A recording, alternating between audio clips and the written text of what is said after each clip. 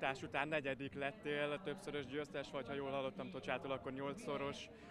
Hányadik alkalommal futod le a távot?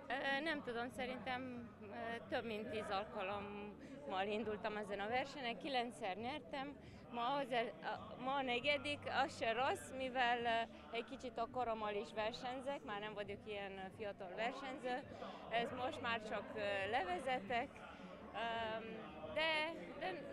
volt a verseny. Az a legjobb időm ebbe az évben, 23-at mentem. A legnagyobb sikerem az, az van, hogy tegnap hoztam magammal 63 diákot az iskolából, ahol jelenleg tanítok, és ez számomra siker.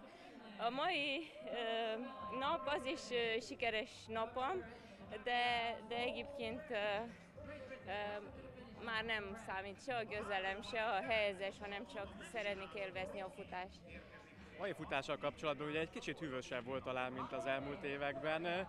Ez jó tesz a futóknak? Jól érezted magad ebben a tizenpár fokban? Nekünk nagyon jó, tökéletes idő volt. A nézőknek ez kicsit hideg, de nekünk nem.